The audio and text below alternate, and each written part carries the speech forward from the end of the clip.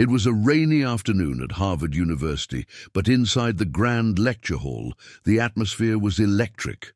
Rows of professors, scholars and top students filled the seats, all buzzing about the same thing, a math problem written on the board. It was complex, monstrous, and had stumped the brightest minds in academia for over a decade. At the front stood Dr. Leonard Hayes, Harvard's most respected mathematics professor. He adjusted his glasses and looked at the audience. This equation, he began, pointing at the dense web of numbers and symbols behind him, has remained unsolved by the best minds in the world.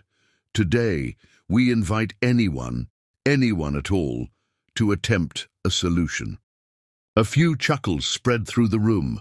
No one moved, no one dared, until a small voice piped up from the back. I'd like to try. Heads turned. A little girl, no more than nine years old, stood beside her father, who wore a janitor's uniform and held a mop in one hand. The man looked both proud and nervous. The room grew tense. People whispered, was this a prank? Dr. Hayes blinked in surprise but nodded politely. Come forward, young lady. The girl stepped forward confidently. Her name was Emily Carter. She wore a faded hoodie and sneakers, clearly not a student, but she had something no one else in that room did. A gift. She walked up to the board and studied the equation. Silence fell over the room, the kind that made people hold their breath. She didn't hesitate long. After barely 30 seconds, she picked up a piece of chalk and began writing. At first, people smirked. Then they leaned in.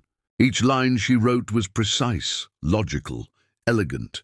Her steps built perfectly on each other. She didn't erase anything, didn't stumble. In under two minutes, she stepped back from the board and simply said, I think that's it. Dr. Hayes slowly approached. His face changed from curiosity to disbelief, to shock. He turned to the audience. This, this is correct. Gasps broke out. Professors jumped to their feet, checking the board. They murmured and argued, only to agree again and again. It was true. Emily had solved the problem, the problem they couldn't solve. The same people who had laughed or looked confused now stared at her in stunned silence. The janitor, her father, stood frozen, overcome with emotion. One professor in the front row finally stood and clapped. Slowly others followed. The room erupted, not with confusion or mockery, but with awe and applause. Emily looked at her father, smiling shyly. She didn't care about the attention. For her, it was just another fun puzzle. But to the rest of Harvard, she had just made history. In the hours that followed Emily's astonishing feat, the Harvard campus was abuzz. News of the little girl who solved the unsolvable equation spread like wildfire.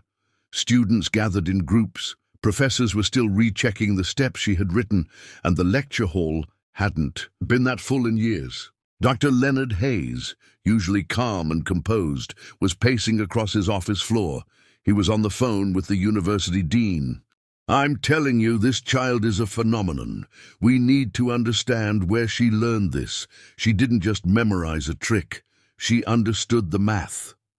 Meanwhile, Emily and her father, James Carter, sat on a bench outside the hall. James still wore his janitor's uniform, a bit stained and damp from work. He looked down at his daughter, stunned by what had happened. How, how did you know how to solve that? he finally asked. Emily shrugged. I saw a pattern, Daddy. It was just like the puzzles you used to draw for me. James blinked, remembering how he'd taught her to play with shapes and numbers using sidewalk chalk when she was only four. He had no idea it would lead to this. A car pulled up in front of them. Out stepped Dean Bradford, along with Dr. Hayes and two other professors. Mr. Carter, the dean began, we'd like to speak to you and Emily in private if that's all right.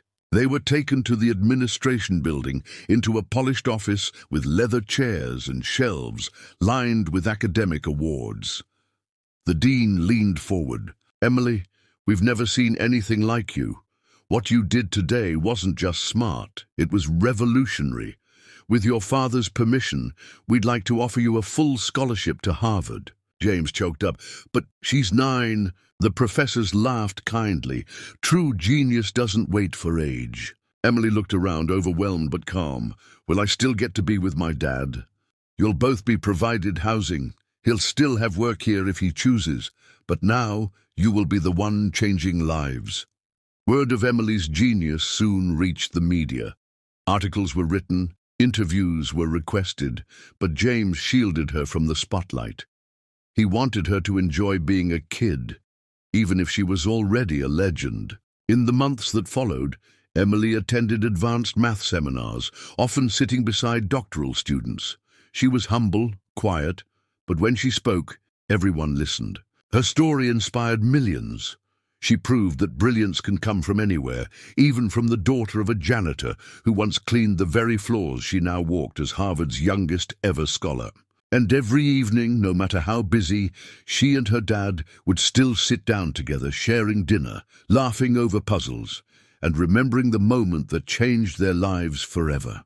Not because she solved a problem, but because the world finally saw the brilliance they had always shared in their little home.